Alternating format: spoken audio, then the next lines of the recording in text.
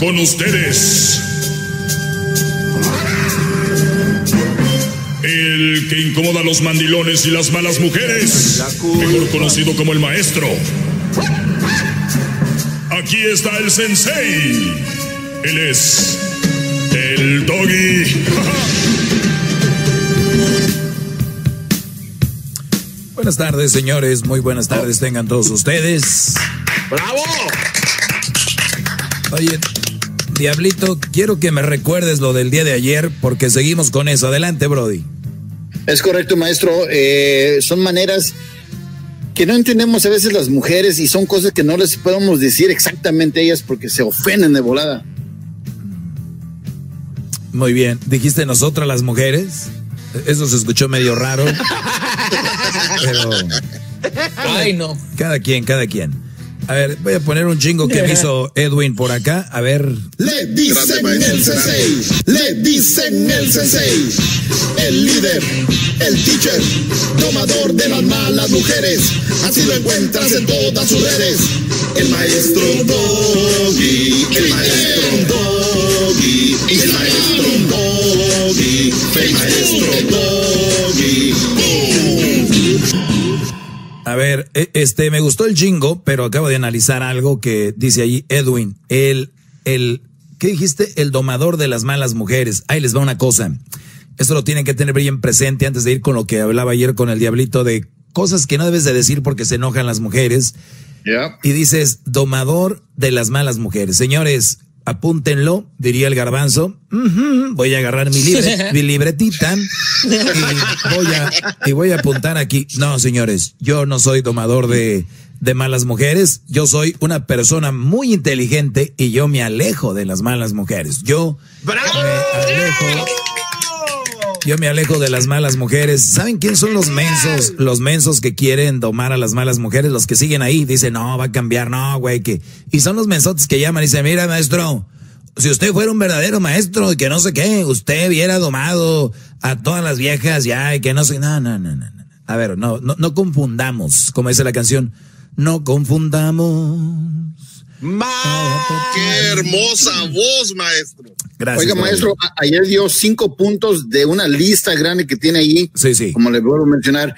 ¿Qué, qué son esas cinco cosas que usted platicó rápidamente? Porque no recuerdo. Sí, ahorita vamos con eso, por eso dije, permíteme, ahorita voy con eso, pero como no entiendes casi español, entonces decía yo que...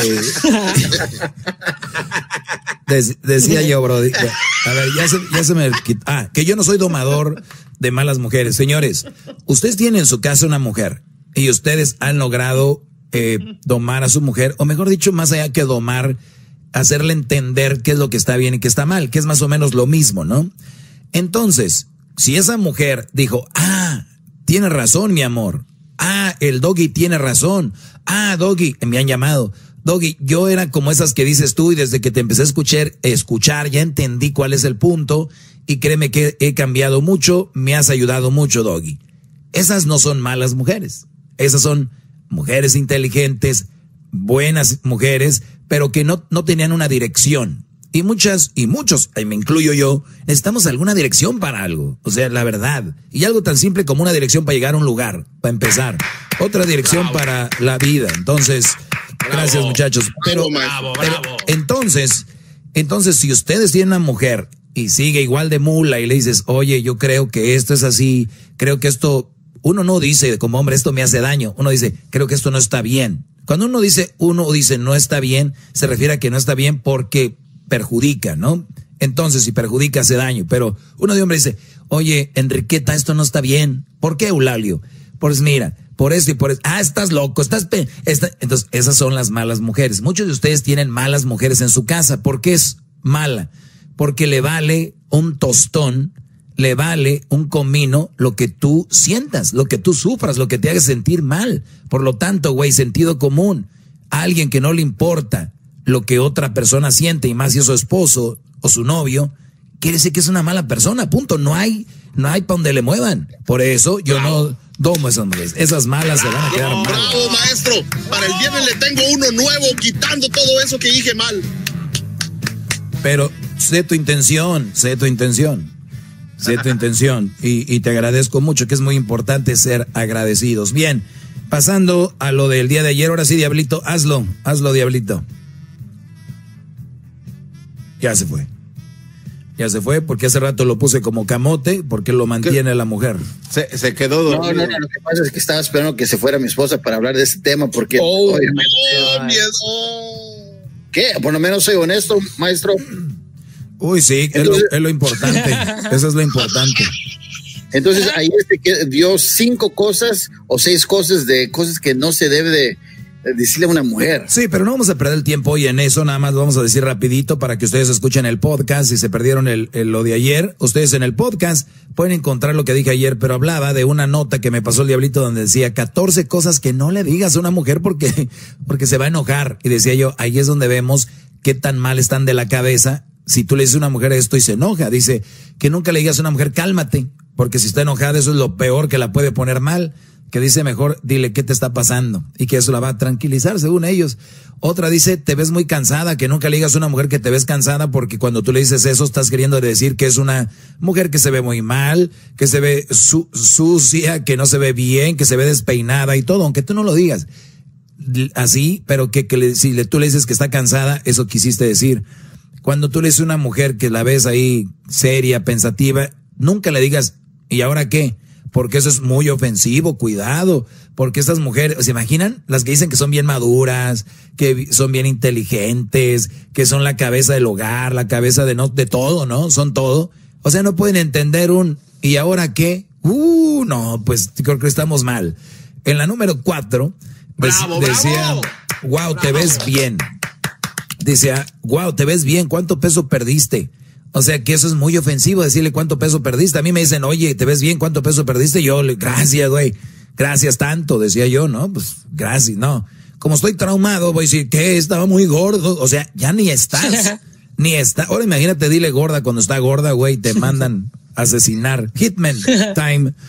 Ok, y la número cinco, comentaba yo que decía, te, te comiste todo eso tú sola. Está, es, es donde nos quedamos el día de ayer. Eh, Sí, maestro. que- Según mis apuntes, hasta ahí llego ayer. Gracias, Edwin. Entonces, hasta ahí vamos, fíjate. Te comiste todo eso tú sola y obviamente la, la cosa es de que vuelvo a lo mismo de hace ratito. Ah, O sea, se supone cuando tú eres más inteligente, tienes más amplitud eh, mental para recibir críticas, eh, para recibir halagos, para recibir eh, piropos, recibir ofensas. O sea, tienes una manera de recibir las cosas. Dicen que, dicen los sabios, lo he visto por ahí en internet, muy interesante, que dice, la, en la vida no se trata de las cosas que te llegan, sino cómo reaccionas a esas cosas, ¿no? Es como, por ejemplo, eh, tal vez sea un, un- una pena esto de la, el encierro, de la cuarentena, pero ¿qué hacemos con el encierro? No, nos encerramos más, nos, nos ponemos a, hablar de cosas negativas, cómo vamos a morir, todo esto, o lo tomamos para ver cosas positivas de convivir más con la familia, eh, conocernos más, crear cosas, que es lo que decía yo hace rato, que el garbanzo está en contra de eso, porque dice que no debemos obligar a nadie a, a eso, y yo creo que hay gente que se le tiene que obligar y pedir como sociedad que sea mejor, porque eso nos hace mejor a todos. El, el que tú mejores a tu vecino va a mejorar al otro vecino y a todos, pero la gente cree que estando bien nada más ellos ya todo va a estar bien y no es así.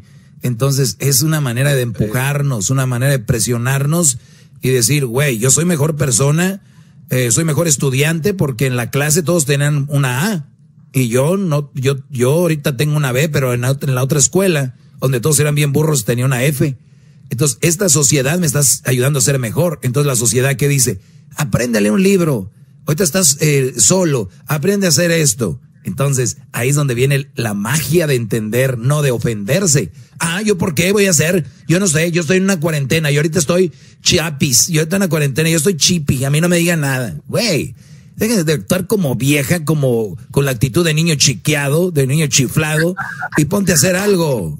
Maldito garbanzo y esta gente huevona poniéndoles esas cosas. ¿no? Oiga, oiga, maestro. Que me digan, pero que no me obliguen, decía él, maestro. Oiga, maestro, este, lo que pasa es que soy un agachón porque estaba la Choco, pero aquí usted sabe que No, no, no. la- yo lo dije solo porque estaba esa vieja. No, no, Está sí. loca la mujer esa. Jamás, jamás le, le llevaría la contra a usted, gran líder, que usted sí sabe. ¿La Choco qué? Muy la bien, Choco anda señores. con sus pantalones blancos. Entonces, si a una mujer le dices, ¿te comiste todo eso tú sola? Ella va a decir, sí, sí, y ¿sabes qué? Y me quedé con hambre. Hoy traigo un hambre de dos, que parecen dos.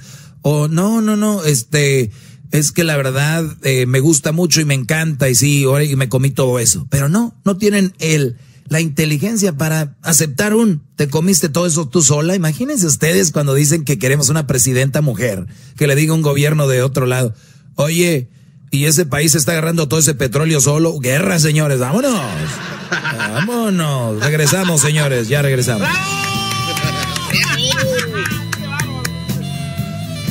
El maestro Doggy, el maestro Doggy, el maestro Doggy, el maestro Doggy.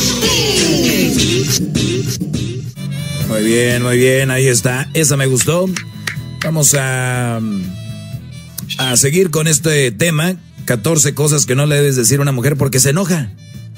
Que porque se enoja. No, hombre. Porque estos güeyes que escriben eso no ponen 14 cosas para enseñarle a una mujer por qué no se debe de enojar por preguntas. No, porque pues les vienen encima, se les echan encima. Hay gente que no está capacitada para lidiar con, con los berrinches de esta sociedad de berrinchuda, chiflada.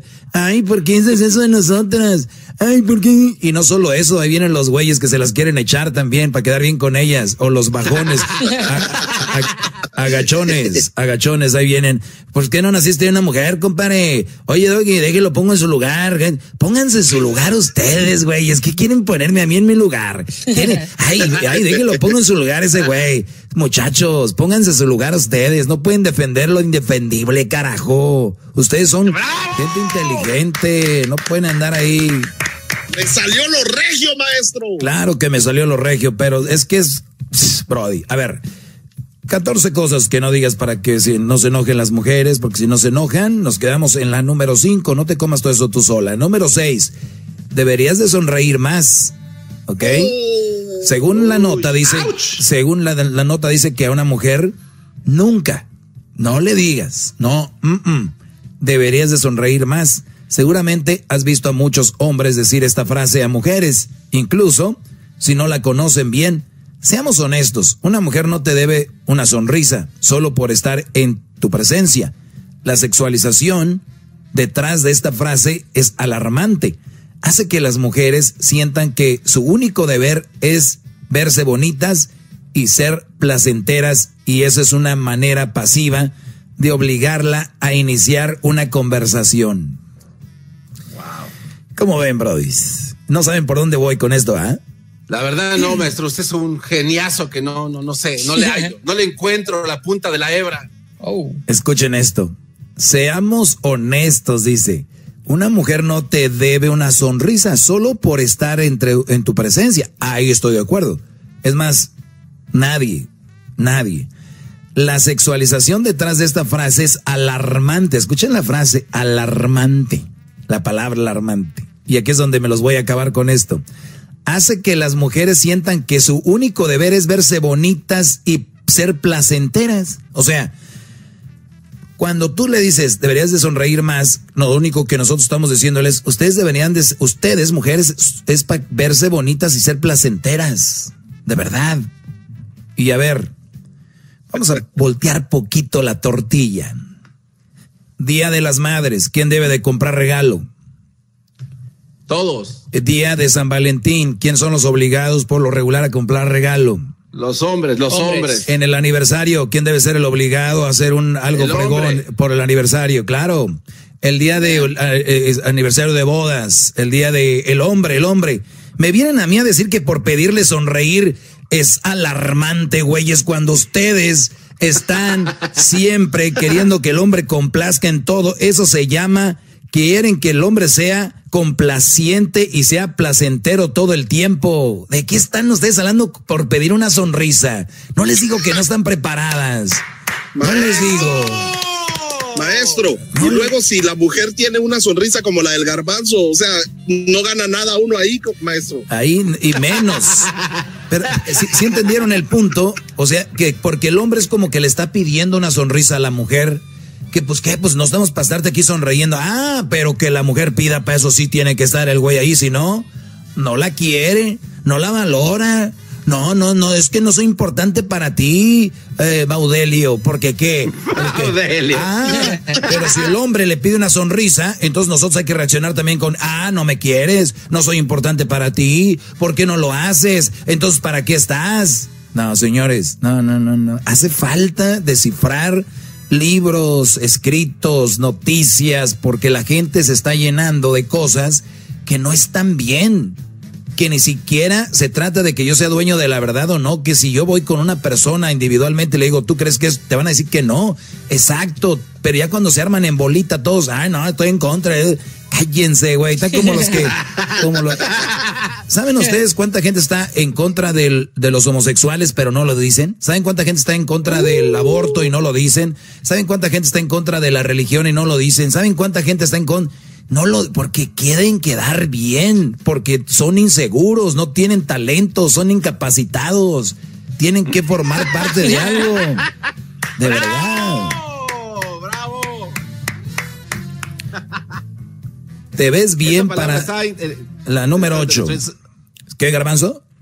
Es que esa palabra que dijo al último creo que eh, encierra todo lo que dijo. Son incapacitados, man. sí, la verdad, sí.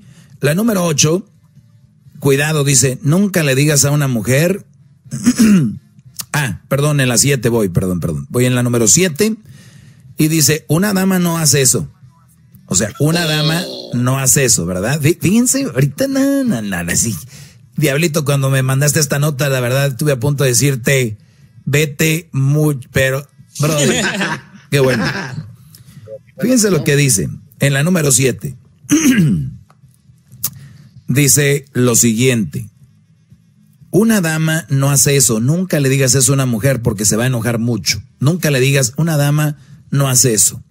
Esta definición de hacer cosas como una dama, una mujer decorosa y bien educada, aplicamos los estándares de comportamiento del siglo XIX a las mujeres de hoy en día. No lo creo, las mujeres no tienen que usar vestido en la vida social, vaya, ni siquiera en el trabajo decirle a una mujer que no actúa o parece una dama perpetua las, nación, las nociones sexistas de que cada género debe jugar con reglas diferentes y baja la autoestima de las personas que lo, que lo escuchan. No las haga sentir avergonzada de ser quien son. O sea. No, no, maestro, no, no, no. Aquí lo maestro. No se estrese, maestro, no se estrese, por favor. Muy bien. ¿Te acuerdas, cuando, fuimos a, Rusia, no, Garbanzo? ¿Cómo no? Claro, pues. ¿Cómo, cómo se vestían las mujeres de?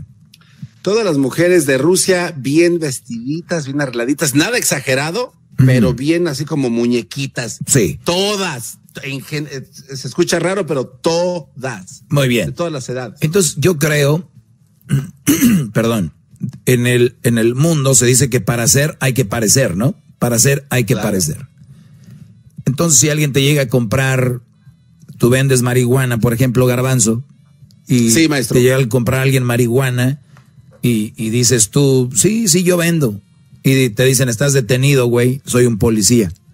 Y tú dices, ay, güey, no pareces, no. no. sabía que eras policía, soy encubierto, soy encubierto, ¿no? Soy encubierto. Entonces, cuando nosotros decimos que para ser hay que parecer, no necesariamente, ¿verdad?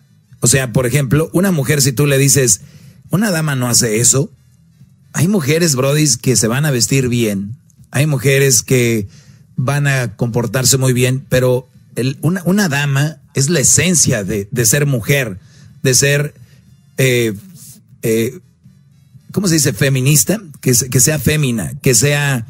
E, ese, femenina, ¿no? Femenina, perdón. Es la esencia de la mujer.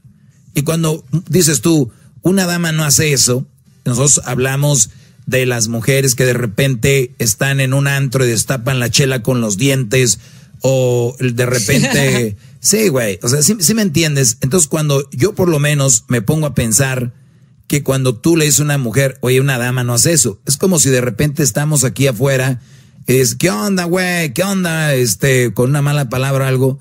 Las mujeres, y, no tienes que ser machista o, o no, pero es algo que de verdad se ve mal. Ejemplo, ¿cuántas veces las mujeres dicen, ese güey dejó a su hijo y dejó a la mujer ahí? Eso, eso no, eso no hace un, eso no hace un hombre. Eso no hace un hombre. Ah, ok. Entonces sí ven que sí podemos empezar a catalogar y podemos empezar a poner gente como en su lugar, como que cada quien va en un lugar y se le puede decir, eh, güey, es, ey, ey, eso no, eso no es de niños. Eso no es de niños. No, tú no puedes hacer eso, no es de niños. Ey, ey, padre, padre, padre, eso no es de un sacerdote, eso no está bien. Ey, Brody, Brody, eres un hombre, güey, eso no está bien en un hombre.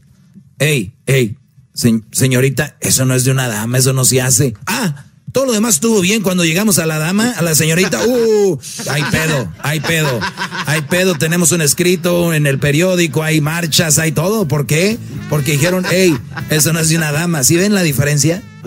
Sí, maestro. Es como cuando le dicen a usted, maestro, ay, usted está en la radio, no debería de hablar así. Exacto, exacto. Ay, eso, eso no es de un locutor. Ay, eso no es de. Ah, pero entonces, entonces sí, sí, hay cosas que gente le corresponden, ¿verdad? Que no están escritas. Ah, ok.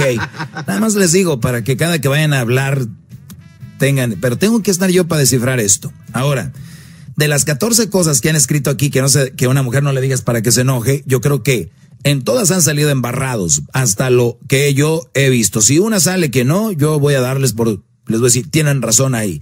Pero bueno, ocho, te ves bien para tu edad. O sea, señores, si a mí vienen y me dicen, oye, ¿cuántos años tienes, Doggy? Ok, tengo 39. Ah, ok, güey, te ves muy joven para tu edad. Ah, gracias, sí, pues le hemos metido al gym, lo que les decía ayer. Me he alimentado bien, pues le he echado ganas, he hecho ejercicio, gracias. Imagínate una mujer, hola, ¿cómo estás, eh, Eunice? Te ves bien para tu edad. Ah, o sea, ¿qué estás queriendo decir? Eh, ¿Qué estás queriendo decir que estás qué estás queriendo decir entonces de que de que yo estoy madreada? ¿Estás queriendo decir estoy madreada? Eh, estoy estás queriendo decir que me veo fea? No, te están diciendo que te ves bien para tu edad. Ahora va a decir, ¿y cuál es mi edad? O sea, pues cuántos de qué edad crees que tengo? O sea, Señores, vean ustedes. Vamos a leerle aquí, ahorita les voy a decir. Esta es otra frase que tiene buenas intenciones, pero que suele ser recibida como, eh, como agresiva. Simplemente di, te ves bien. Simplemente recuerda, si tus cumplidos son genuinos, no requieren un calificador como tu edad. O sea, señores, te ves bien a alguien que es insegura, es lo mismo decirle que decirle te ves bien para tu edad. Ejemplo, eh, oye, fíjate que te ves bien. Esa mujer si ya está insegura es, de verdad, de verdad que es que me veo bien, es que yo me siento, no sé cómo, ay, no sé, si me veo bien. Y va a llegar, ay, dicen que me veo bien, pero ya sé, yo creo nada más por hacerme sentir bien, porque yo la verdad no sé si me veía bien, lo que sea. Esa es la inseguridad de alguien. Tú le puedes decir, oye, te ves bien para tu edad. Y si es una persona segura, va a decir, de verdad, gracias, gracias. Pues sí, ya tengo 70. ¿Cuántas mujeres se atreven a decir la edad? ¿Por qué? Porque son inseguras, otra vez. Son gente, la verdad, pobrecita las mujeres, son, tengo que decirlo, son muy desgraciadas con, con ese tipo de, de actitudes. Y es triste porque tengo una mamá, tengo, tengo hermanas, tengo tías y todo y yo sí les digo, sí tengo tías muy desmadrosas. Mi mamá, mi mamá sí es de las que dicen, ¿cuántos años tiene mamá? Pues me dice la edad de ella sin ningún problema. O sea, pero sí tengo primas o mis carnales. Digo, ¿qué, qué pobreza se meten a la cabeza decir lo de la edad? Y, fíjate, y no vayamos tan lejos, ya se lo contagiaron a los hombres. Pregúntenle a, oh, a, Garbanzo, Diablito, y es en serio. Es en serio, de verdad. Pregúntenles de la edad y ellos es es algo ofensivo. A ver, Brodis, vean a Jay Leno, vean a estos ya son viejos, la edad no importa, es quién eres, qué haces, cómo lo haces. De verdad. No, es en serio, de verdad. Olvídense de eso. Que, que la edad, te ves bien para tu edad, ya es ofensivo, no les digan, nomás díganles que se ven bien, ¿ok? Y ya y que te diga la vieja, oye, ¿y eso que tengo 70? Ay, de la... Hasta le doy un abrazo, véngase para acá, mi ruca. Ok. número nueve. Número nueve. Mi ruca. Eh, la número nueve dice, de hecho, así no se dice o se hace. Si una mujer dice que... ese ya es el colmo, güey este es el colmo ya. Es más, esta la voy a dejar para mañana, nada más se las adelanto. Se las adelanto, dice. De hecho, así no se dice o así se hace. O sea, si una mujer está diciendo algo y, dice, y tú, tú no lo digas, hey, oye, eh, no, pero así no se dice, se dice así. No les digas. No, no, no, no, no. No, ¿Para qué quieres? No, no, no, no, no. Ni tampoco si está haciendo algo decirle, hey, así no se hace, mira, se hace así. Pero mañana les voy a dar lo que es la hipocresía de esto. Porque cuántas veces las mujeres te dicen, Ey, así no se hace. Ey, así no se dice. ¿Y qué es tú? Ah, ok. Y uno de güey, ah, ok. Sí, cierto, tiene razón, se hace así. O sea, uno buena onda. El, hombre es más humilde. La mujer no es tan humilde como ustedes creen, de verdad. ¿Cómo le hace el hombre, maestro? ¿Cómo le hace el hombre? Ah, Ay, qué güey. Sí, cierto, era así. ¿no? Así, es la verdad. Y la mujer, le dices tú, así no se hace y volteas y...